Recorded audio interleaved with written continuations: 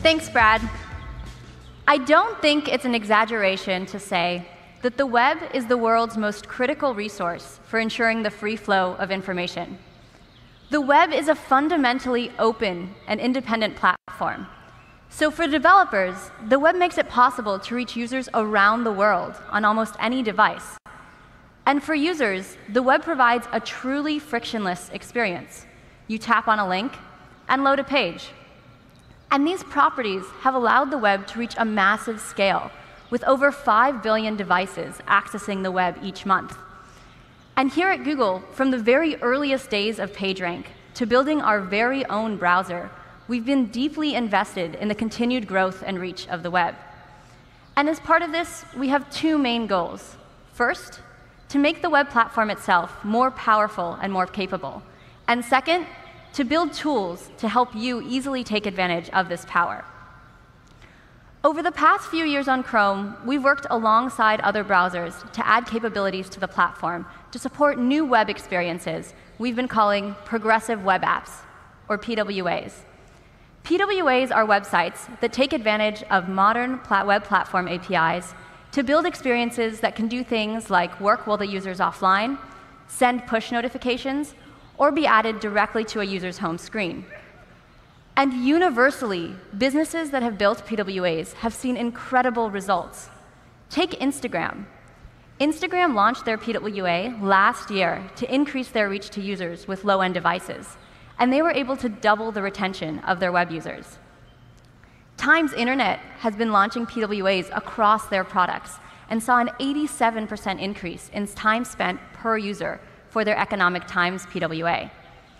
And when the Starbucks team rolled out their PWA, they doubled their daily and monthly active users on their website. And because the web, web, adapts seamlessly to different devices and platforms, their mobile PWA also worked well for their desktop web audience.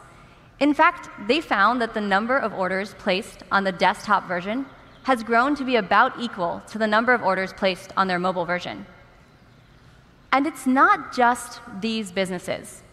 Across sites that advertise with Google, we see an average mobile conversion rate boost of 20% when the site switches to a PWA. And we also build many of our own products here at Google as PWAs. Google Maps launched a new mobile PWA tailored to provide a fast and data conscious experience. And Google.com itself is a PWA. It loads 50% less JavaScript over the network and can support features like retrying search queries if you're offline. And investing in a PWA today goes further than ever. Chrome OS now provides native support for PWAs, allowing them to be installed and run fully integrated and in their own standalone window. And we're incredibly excited that Service Worker, the underlying new API that makes PWAs possible, is now supported on all major browsers, including recently Edge on Windows and Safari on both desktop and mobile. This is probably the most important leap forward for the web in the last decade. So PWAs have fundamentally changed what the web can do, but that's only part of it. WebAssembly enables websites to run high performance, low level code written in languages like C and C and it has broad support across browsers and devices. And because this code has access to all of the web's APIs, WebAssembly enables a new class of content to run on the web platform. As just one example, the AutoCAD team took a 35-year-old codebase that's older than the web itself and were able to compile it to run directly inside a browser using WebAssembly. So now all of the power of AutoCAD is just a link away. So the web platform's been gaining all these great new capabilities, but we want to make sure it's easy for you to take advantage of them. So we've been working on the tools to help. Lighthouse is a feature of Chrome's built-in dev tools that analyzes your site and gives you clear guidance on how you can improve your user's experience. Half a million developers are running Lighthouse against their site or as part of their continuous integration process to help avoid performance regressions or even to keep an eye on the competition. And today, we're launching Lighthouse 3.0, which makes Lighthouse's performance metrics even more precise and its guidance even more actionable. So Lighthouse helps you understand how you can upgrade your site, But we don't want to just give you advice. We want to give you the tools to help make sure any new sites you build are high quality by default. We started the AMP project two years ago to help make building fast web pages much easier, and I'm happy to share that AMP is evolving in some big ways. We're expanding the kinds of things you can do with AMP. We've added a bunch of features that support critical e-commerce experience in AMP, like search autocomplete, a full-featured date picker, and soon infinite scrolling lists. And businesses are seeing the benefits. As just one example, Overstock saw a 36% increase in revenue on their AMP pages. And we've introduced AMP Stories, an easy-to-use format for creating immersive stories on the mobile web. Now, all AMP content benefits from a fast, free, privacy-preserving cache that optimizes page loads. But they've had these google.com URLs. So we're fixing that with a new standard called web packaging. This is also the first step towards our ultimate goal for any fast, responsive web content to be able to take advantage of all of the benefits of AMP.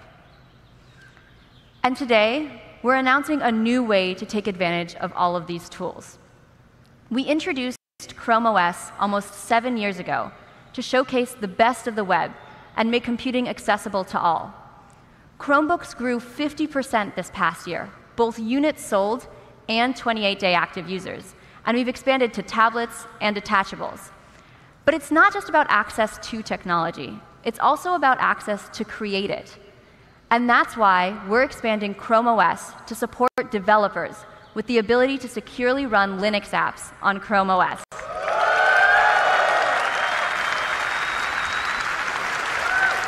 So this means that many of your favorite tools, editors, and IDEs now work on Chromebooks.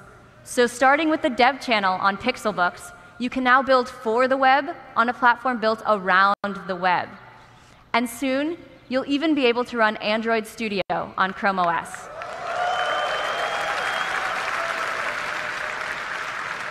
So all in all, it's an incredibly exciting time to be a web developer. Businesses around the world are consistently seeing substantial returns from deeply investing in their web experience by building progressive web apps. And the reach of these PWAs is now truly everywhere, with support across every major browser. And it's easier than ever to build great web experiences with tools like Lighthouse and AMP, and so many more of our web developer products that you'll hear about throughout I.O.